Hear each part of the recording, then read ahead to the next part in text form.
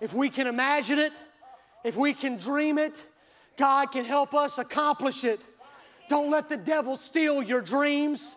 Don't let the devil steal your visions. Don't let the devil steal your goals in life. That gives him free access to steal your joy. Keep believing, keep pushing, keep dreaming. Go after your goals like never before. You do have enough talent. You do have enough ability. You've got all the tools needed to make a difference in this world.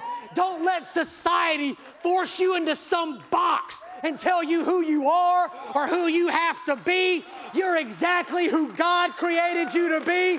Now go be it. Go do it. Go dream it. Go become it. Be the man, that you were intended by God Almighty to be.